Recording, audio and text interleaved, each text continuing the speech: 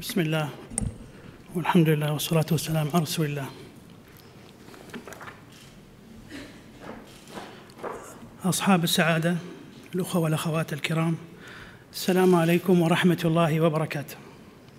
سعدنا أن نرحب بكم في هذا الملتقى الحواري الذي ينظمه برنامج دبي للأداء الحكومي المتميز بعنوان دبي مدينة صديقة للأشخاص ذوي الإعاقة. ونود أن نشكر الأخوة والأخوات القائمين على البرنامج على هذه الاستضافة وتخصيص ملتقى معرفي كامل لهذا الموضوع الهام والموضوع ذو الأولوية. فقد تم إطلاق مبادرة مجتمعي مكان للجميع من قبل سيدي سمو الشيخ حمدان بن محمد بن راشد آل مكتوم ولي عهد دبي رئيس المجلس التنفيذي بهدف تحويل بهدف تحويل دبي إلى مدينة صديقة للأشخاص ذوي الإعاقة بشكل كامل ومتكامل بحلول العام 2020 كما ذكر الأخ أبو عبد العزيز سعادة المدير العام لهيئة تنمية المجتمع. وبمتابعة حثيثة من سمو الشيخ منصور بن محمد بن راشد آل مكتوم رئيس اللجنة العليا لحماية حقوق أشخاص ذوي الإعاقة يسعدنا أن نؤكد بأنها نالت تأييدا من كافة أفراد المجتمع وحظيت برعاية شاملة من قبل عدد من الجهات والأفراد وما هذا إلا دليل على مدى الوعي المجتمعي بأهمية دور الأشخاص ذوي الإعاقة أفراد سواسية مع أقرانهم من أفراد المجتمع للمساهمة في بناء والعطاء لهذه الدولة المعطاءة. وتحت مظلة اللجنة العليا تم إطلاق استراتيجية دبي للإعاقة 2020 والتي ترتكز على خمسة محاور رئيسة وهي كالتالي أولا الصحة الدامجة وإعادة التأهيل. وفي هذا المحور ومن خلال الكشف المبكر والتدخل المبكر لحالات الإعاقة وإعداد وتقديم برامج التأهيل وإعادة التأهيل الصحي والنفسي والاجتماعي وبناء على التحليل الوظيفي الدقيق لكل حالة على حدة. كما ونسعى على خلق نظام رعاية صحية شاملة تقدم رعاية صحية متميزة للجميع بمن فيهم الأشخاص ذوي الإعاقة. ثانيا محور التعليم الدامج والذي يهدف إلى تهيئة جميع الظروف والمتطلبات لضمان الدمج الفاعل. وأنا هنا أضع خطين تحت الفاعل. الأشخاص ذوي الإعاقة في المنظومة التعليمية بكافة مستوياتها المختلفة في إمارات دبي. المحور الثالث هو محور التوظيف الدامج. وهذا المحور يعني بتمكين ذوي الإعاقة بتعزيز فرص مشاركتهم الفاعلة في الحياة الاقتصادية وسوق العمل. وفتح الفرص الاستثمارية أمامهم من خلال وضع سياسات وتشريعات وتشجيع ممارسات محفزة لمثل هذا الأمر. رابعا محور البيئة المؤهلة حيث لا يمكن تحقيق الدمج الحقيقي والشامل ما لم تكن البيئة العمرانية بما فيها من مبان ومرافق ووسائل التنقل وكذلك البيئة المعلوماتية مهيئة وخالية من العوائق وتسمح بوصول واستخدام الأشخاص ذوي الإعاقة لها بسهولة ويسر. وباستقلالية تامة وهذا ما نصب إلى تحقيقه على كامل الرقعة الجغرافية لإمارة دبي. يمكن سمعتوا نحن نشير إلى مدينة دبي حقيقة المعني هنا إمارة دبي برمتها حتى ما نغفل مناطق أخرى مثل حتى والهباب والمناطق الريفية الأخرى. المحور الخامس في الاستراتيجية هي محور الحماية الاجتماعية. ويهدف هذا المحور إلى حماية الأشخاص ذوي الإعاقة من الإهمال والاستغلال والإساءة من خلال تطوير وتطبيق تشريعات والإجراءات الإدارية والمؤسسية المناسبة لذلك. فمنذ إطلاق الاستراتيجية وتشكيل فرق العمل نجد تكاتفا وتعاونا كبيرين من الجهات الحكومية لتطوير وتنفيذ العديد من المبادرات والبرامج لتحقيق الأهداف المنشودة مثل مشروع البيئة المؤهلة الذي تم من خلاله إعداد أول دليل شامل للمعايير القياسية أو ما يعرف بالكود للبيئة المؤهلة في إمارة دبي إضافة إلى استراتيجية شاملة لتحقيق ذلك ونحن الآن بانتظار الإقرار النهائي لهذا الكود أو هذا الدليل الدليل الشامل للمعايير القياسية وكذلك الاستراتيجية لنبدأ رحلة التحول من من هنا.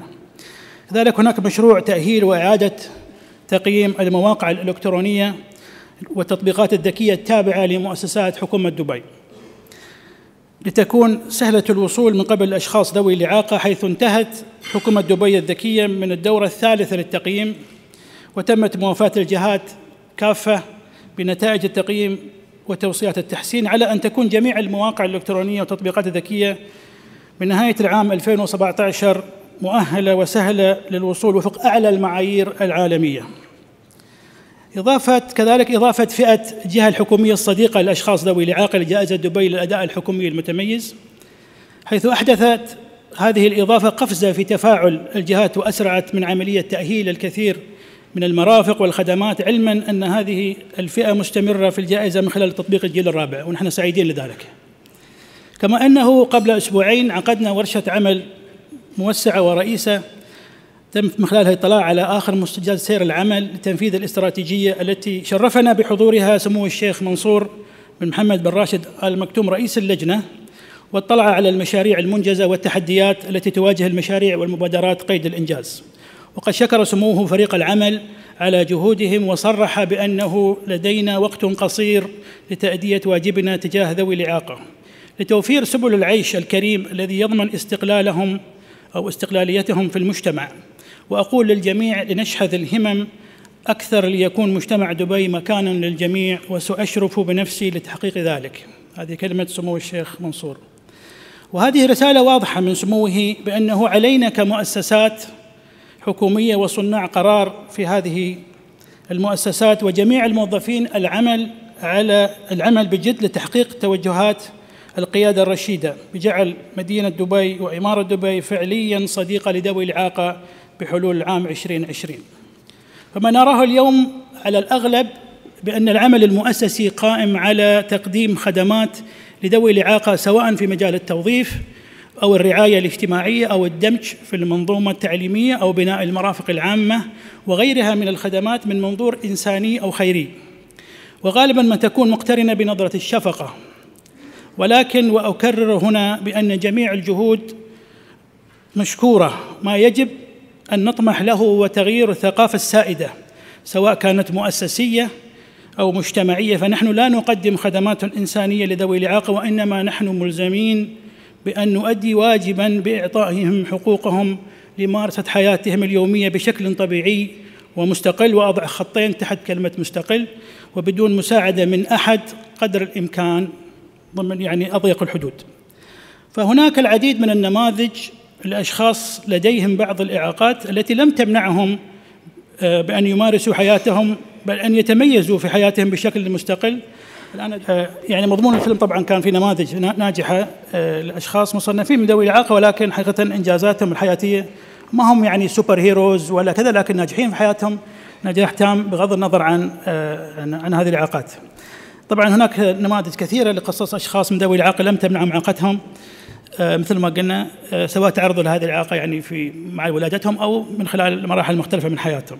أود أن أختم هنا بأنه من خلال تقرير تقرير نبض دبي لخطة دبي 2021 قد أعلنا مسبقا بأن 65% من سكان إمارة دبي يعتقدون بأن الأشخاص ذوي الإعاقة هم فعلا مدمجون في الحياة العامة ولكن نريد بتكاتف الجميع وسعي الجميع بأن نحقق الهدف المطلوب وهو تحقيق 90% بحلول العام 2020 فنحن حكومة دبي حكومة فريدة من نوعها بتميزها في العمل الحكومي وريادتها في تقديم الخدمات وحكومة مستشرفة للمستقبل آه، تتطلع كما تطلع عليه باقي حكومات العالم. نريد أيضا أن نكون سباقين في جعل إمارة دبي مدينة للجميع فهي موطن لأفراد ملئهم الفخر والسعادة بانتمائهم إليها في ظل مجتمع متلاحم يقوم على مبادئ العيش المشترك ينظر الأفراد كشخصهم وقدراتهم بعيدا عن علاقاتهم شكرا جزيلا. السلام عليكم ورحمة الله وبركاته.